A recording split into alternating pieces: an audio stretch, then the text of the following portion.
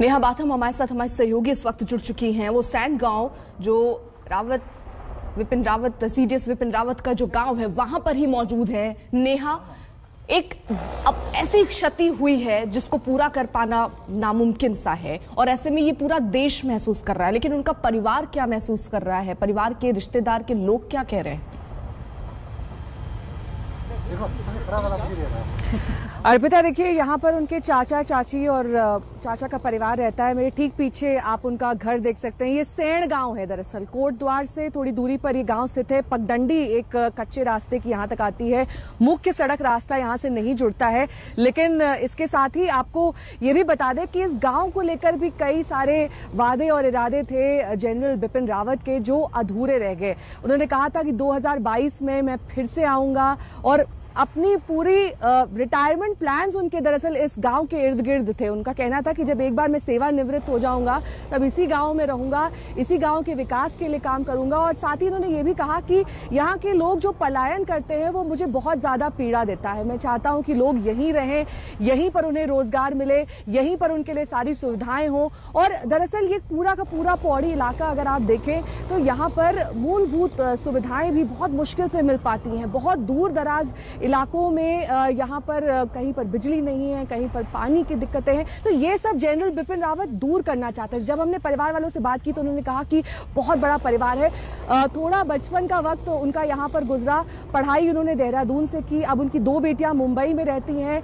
लेकिन अब हाल फ़िलहाल जितने भी आपने दौरे देखे होंगे, उनकी पत्नी उनके साथ होती थी। क्योंकि बहुत एक लंबा वक्त था। जब वो सेवा में थे तो अपनी पत्नी और परिवार के साथ वक्त नहीं बिता पाए। उनके पिता भी सेना से ही जुड़े रहे लक्ष्मी रावत जी लक्ष्मण रावत जी और लक्ष्मण रावत जी का ही ये सेवा भाव बिपिन रावत आगे लेकर गए क्योंकि दरअसल सेना में होने का भाव पीढ़ी दर पीढ़ी हर एक में आता रहता है। किसी तरीके से वो चाहते हैं कि वो सेना के लिए सर्व करें, सेना के लिए ही आगे जाएँ और सेना के लिए हर वो काम करें जो उनके इस देश भाव इस देशभक्ति के भाव को दर्शाता हो। उनको एक तरीके से ये कहा जाए कि पहले चीफ ऑफ़ डिफेंस स्टाफ का जो पद भी दिया गया, वो संविधान में बदलाव करके दिया गया। यानी कि एक, ऐसा टैलेंट उनमें पहचाना गया, एक ऐसी अद्भुत नेतृत्व क्षमता खास तौर पर निर्णय लेने की, जो बहुत ज़रूरी होती है किसी भी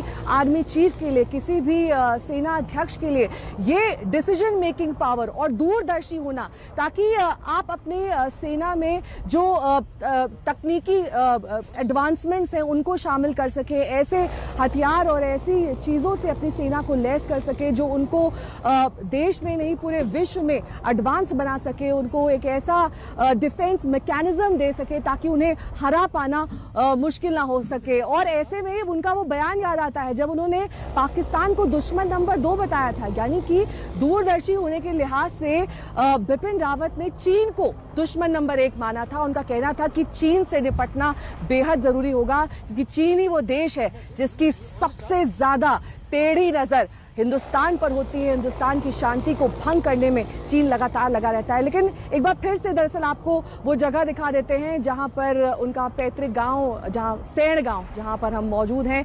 इस गाँव में कई सारी स्मृतियाँ, कई सारी यादें और पूरा का पूरा गाँव इस वक्त शोकाकुल है। दरअसल बहुत चंद लोग हैं सैण गाँव में जो अब बचे हुए हैं। खासतौर पर प्रमुख तौर पर उनका चाचा का ही परिवार यहाँ पर बचा हुआ है। लेकिन उत्तराखंड में शोक की लहर है। तीन दिन का यहाँ पर शोक डिक्लेयर कर दिया गया है और ये यहाँ के लोग कह रहे हैं कि काश जनरल बिपिन रावत यहाँ पर वापस आते काश इस गाँव के लिए कुछ कर पाते और काश उनकी वो सारे सपने और वो सारे वादे इस गाँव के लिए पूरे हो पाते। जी अर्पिता बिल्कुल, नेहा रहिए जरा आप साथ और देखिए अब चश्मदीद भी सामने आ रहे हैं। ये वीडियो हम आपको दिखा रहे हैं। क्रैश लैंडिंग से पहले की ये तस्वीरें हैं जो हम आपको दिखा रहे हैं। ये देखिए, ये वही हेलीकॉप्टर जिसमें जनरल विपिन रावत मौजूद थे सीडीएस और इसके बाद बताया जा रहा है कुछ ही दूर पर जाकर ये हेलीकॉप्टर क्रैश हुआ। उससे पहले का ये वीडियो सामने आया है। प्रमोद माधव हमारे साथ हमारे सहयोगी इस वक्त जुड़ चुके हैं और प्रमोद क्योंकि ये वीडियो जो है ये दिखा रहा है कि किस तरीके से वहाँ धुंध भी थी।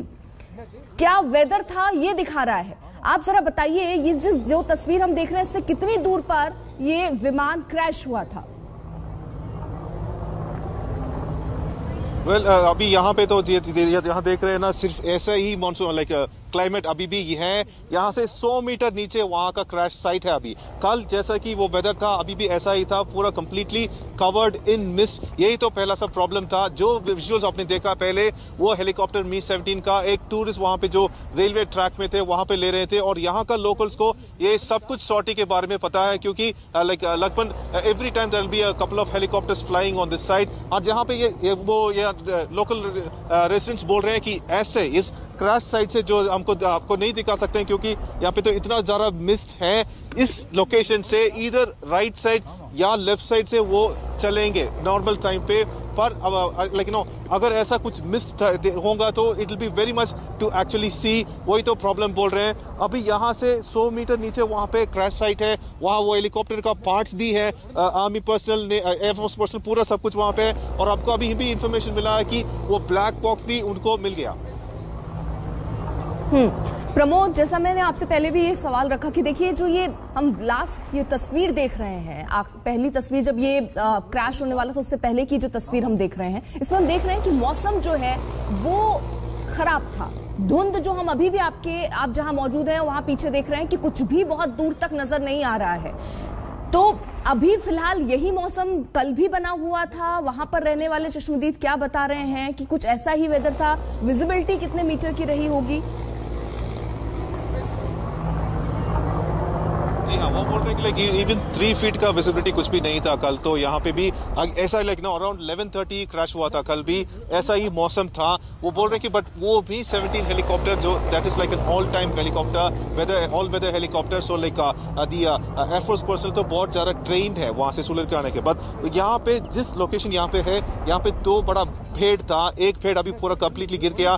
That is where the helicopter actually crash और ये लाइक रेजिडेंट्स यहाँ लोकल से वेरी क्लियरली बोल रहे हैं कि every time like helicopter flies by this side इधर लेफ़्ट या राइट साइड लेंगे, पर लाइक दिस टाइम उनको पता नहीं क्या हुआ। और अभी जैसे देख रहे हैं, हमारा भी वो पूरा का पूरा विजिबिलिटी चल गया because of the mist and इस समय पे लाइक दिसंबर जैसा तो यहाँ पे तो बहुत ज़्यादा मिस्ट होगा। एक बड़ा बड़ा लाइक क्लाइमेटिक प्रॉब्लम है, पर लाइक रेजिडेंट्स बोल रहे हैं कि लाइक है लाइक एयरफोर्स पर्सनल तो ऑलवेज भी केयरफुल हो गए और उनको पता था बट दिस टाइम उनको क्या हुआ, वो पता नहीं है। और जो विजुअल्स उन्होंने लिया था, वो भी दिख रहे हैं कि वो बहुत लो फ्लाई कर रहे थे। नॉर्मली जे, ये हिल स्टेशन जब यहाँ पे है ना, ये लाइक लाइक ट्वाइस हाइट पे वो मी सेवनटीन हेलीकॉप्टर फ्लाई करेगा। बट पर उनको पता नहीं क्यों ऐसा लाइक वो लो फ्लाई कर रहा था उस वक्त। But very one thing is very clear this is a rough terrain the helicopter has to come straight and they have to take a fork bend either left or right. It's like you know, it's like uh, the last minute stills also very clearly they raha that the helicopter was very sturdy, and uh, uh, but like we cannot speculate exactly what happened after that. बिल्कुल, और देखिए, इसीलिए जाँच के आदेश भी दिए गए हैं और ये देखा जा रहा है कि आखिरकार वो विमान जो वीआईपी को दिया जाता है इतना सुरक्षित, उसके जो पायलट होते हैं, वो भी ट्रेंड होते हैं। आखिरकार ये हादसा कैसे हुआ, इस पर भी देखिए, नज़र बनाई गई है यहाँ पर जाँच के आदेश भी दे दिए गए हैं। लेकिन प्रमोद, आप क्योंकि वहाँ पर मौजूद हैं, उस वक्त आसपास कैसा इलाका है जहाँ पर ये क्रैश हुआ विमान? आसपास लोग भी थे जिन्होंने इस हादसे को अपनी आँखों से देखा, उनसे अगर आपकी बात हुई तो क्या कह रहे हैं वो? जी हाँ हमने उनसे लाइक एक लोग लाइक यहाँ के लोकल रेजिडेंट से हम ज़रूर बात किए आते हैं पर प्रॉब्लम यहाँ है कि सिर्फ़ हम ही हैं यहाँ पे आर्मी पर्सन जो वहाँ पे बैठे हैं, किसी को नहीं अलाउ कर रहे हैं, क्योंकि टॉप ऑफिशियल्स वहाँ पे है और पूरा लाइक वहाँ पे जगह पे अभी सर्च भी हो रहा है। ये प्रॉब्लम ये है कि सर्च ऐसा इजीली नहीं कर सकते बिकॉज़ ऑफ़ द मिस्ट और ये प्रॉब्लम ये है कि जस्ट हंड्रेड सौ मीटर के नीचे वहाँ से बहुत ज़्यादा लेकिन रफ क्लिफ भी है। ये ट्रेन तो बहुत ही रफ है, पर ये रेजिडेंट्स यहाँ पे तो बोल रहे हैं कि लाइक दो तीन घर है आसपास। उन्होंने वह तो पहले वो they went over that to help उन्होंने बोला कि पहले उनको एक बड़ा बड़ा noise they heard that noise वहाँ पे जब वो गए थे वो उसे देख रहे थे पूरा पूरा आग था लाइक नो एवरीवेयर रोकड़ियों में आपको प्रमोद ये देखिए ब्लैक बॉक्स भी बरामद किया गया है और अब क्या रहा लास्ट मोमेंट पे वो समझने की कोशिश की जा रही है क्योंकि जो चश्मदीद वहाँ पर थे वो कह रहे हैं कि बहुत फ़्लाइट ये जो प्लेन था ये हेलीकॉप्टर ये बहुत नीचे फ्लाई कर रहा था।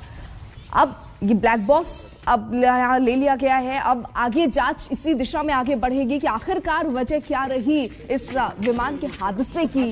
क्योंकि मौसम अचानक से जैसा हम अभी भी तस्वीरों में देख रहे हैं, जो पहली तस्वीर जब क्रैश होने से पहले की जो तस्वीर आई, उसमें भी हमने देखा कि वहाँ पर भी वेदर जो है, वो बहुत खराब था।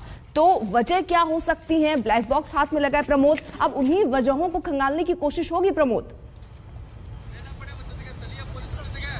हाँ अभी जो ब्लैक बॉक्स मिला है तो वो एक स्टर्डी मैकेनिकल सिस्टम है जहाँ पे वॉइस रिकॉर्ड ये और पायलट का वॉइस रिकॉर्ड कैबिन कैबिन का वॉइस रिकॉर्ड कर इसमें like it will be recorded altitude का रिकॉर्ड हो सकता है everything will be recorded the black box and it's completely sturdy it is not easily destructible that is why it's called as a black box which supposedly is orange in colour and what has happened is that like कल से uh, पूरा दिन यहाँ पे like search हुआ था और रात में यहाँ पर थोड़ा भी विजिबिलिटी नहीं था और सुबह अगेन जब हम यहाँ पे पहुँचे थे उस वक्त आर्मी पर्सनल एफर्स पर्सनल यहाँ पे थे वो भी कंप्लीटली सर्च कर रहे थे।